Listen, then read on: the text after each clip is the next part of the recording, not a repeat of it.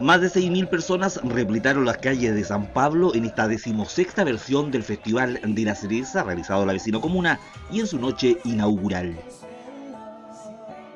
Con la animación de René Polo Hernández y Jocelyn Medina se llevó a cabo un show que gustó al público asistente, tanto por la variedad de estilos musicales en la competición como por la calidad de los artistas invitados a esta fiesta netamente sanpablina.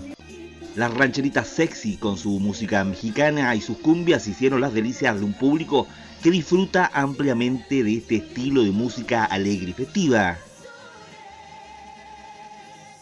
Luego vino la competencia musical con variados temas y ritmos y una excelente calidad interpretativa por parte de artistas venidos de distintas ciudades de Chile. El quiebre a lo musical lo trajo el grupo Mampoval, quien hizo reír al público sanpablino durante casi una hora con su humor directo e ingenioso.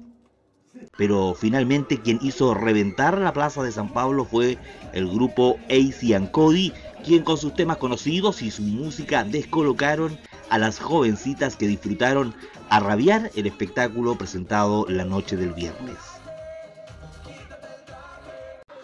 Una mención especial merece la organización de este festival que compromete el trabajo de todos los funcionarios municipales sin distinción de rangos y de cargos, al igual que la interpretación musical de los artistas convocados, por lo que hoy dejamos solo una pequeña muestra del nivel que se vive en esta competición en el Festival de la Cereza de San Pablo.